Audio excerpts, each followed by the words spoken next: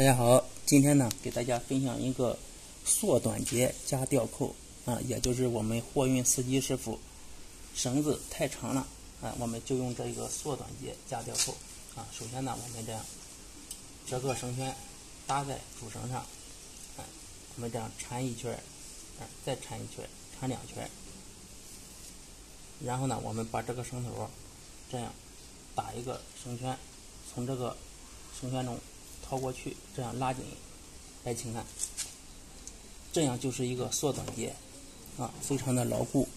然后呢，我们可以打一个吊扣，也是非常的简单。我们把这个绳头的位置从这个，哎，这个绳圈里给它掏出一个绳圈，大家看，掏出来，哎，我们挂在汽车的副钩上，这样也能够轻松的刹紧货物，非常的实用。啊，我们解开也是非常的方便。看我们这样解开的时候也是相当方便。